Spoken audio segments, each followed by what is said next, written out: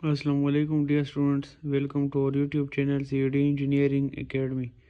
So dear students today we will discuss the problem 904 of the combined stress topic. So the question is to avoid interference a link in a machine is designed so that its cross-sectional area is reduced one half its section AB is shown. If the thickness of the link is 50 mm compute the maximum force that can be applied if the maximum normal stress on section AB is limited to 80 megapascal. So dear students we have a link here and it's uh, here at the section AB its cross sectional area is reduced to half here it's uh, this distance will also reduce to 40 instead of 80 and the thickness will remain same so the question is to compute the force at section AB if the normal stress on section AB is limited to 80 megapascal. So let's start the solution. So the solution is first we have to draw the free body diagram of this whole link and then we calculate the geometric properties okay so here the forces are applied at the at the end of this link. And when we here apply a cut at section AB so I have drawn here this left portion of the link. And here this part is shown here in the three dimensional 3D so here the tensile forces are applied at the end. And when we apply a cut here this force will be applied over here. Okay or we can also say that if for example i draw this part for you if we can say that this force is applied along this line of action so we can also say that the force is applied over this part. So here the centroid of this cross section area section AB will be here. So we have to shift this force to this uh, cross section area. So whenever we move a force from one location to another it is uh, accompanied by a couple. Uh, as we have studied in mechanics uh, how to resolve force into couple uh, and couple into force. So when we move this force to this location here will be uh, this draw these two forces in equal in opposite direction.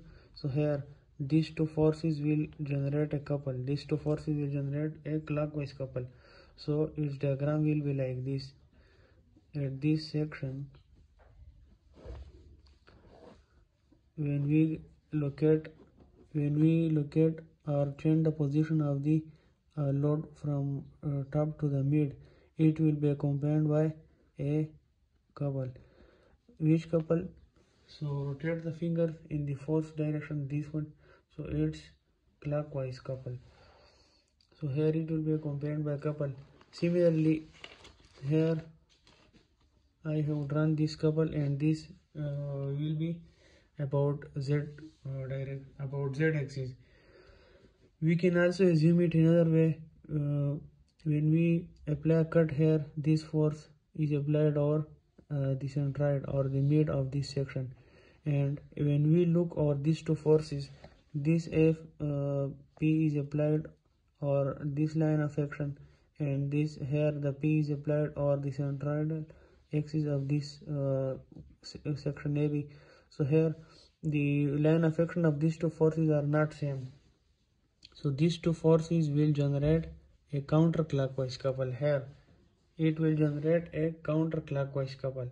So to balance this counterclockwise couple we have applied we have to apply here the clockwise couple. So to keep in equilibrium okay these two forces uh, generate a anti-clockwise couple. So to balance this we have to put here the clockwise uh, so here the three-dimensional view of this area is shown here. Its thickness is 50 millimeter and its uh, height is 40 millimeter. Here the force which applied over the centroid is the tensile force is shown away from the cross sectional area. And what about the moment about uh, the z-axis it will be positive bending moment or negative bending moment. So just uh, rotate fingers uh, like this way your thumb will show the direction of the movement so it's about the negative z-axis so here this movement is negative bending moment. Or we can also say that the arrow which uh, the arrow of this movement shows the compression. The side on which the arrow is it those side will be compression. So those moment on which the bottom is compression and top is tension it's negative bending moment. We have already discussed these things in uh, shear force and bending moment diagram in MOS1 so we will also revise those concepts. So now let's come towards the solution. We have to apply the equilibrium conditions. We have balanced this body. Then uh, px force along the horizontal direction will be p. And its uh, sign will be positive because it's tensile force. Here the moment about the uh, z uh, axis will be uh, minus p into 20 okay minus p into 20 here this moment will be p into 20 because here this interest is 20 mm. I have told you guys here that when we uh, shift a force from this location to the center.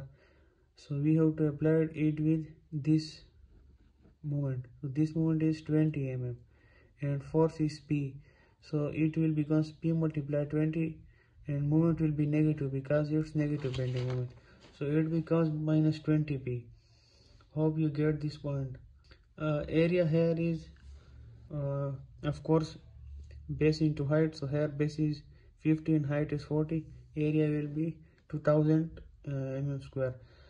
So here the moment of inertia about the z-axis why we have to find moment of inertia about z-axis why not about y-axis z-axis because here the moment is about z-axis that's why.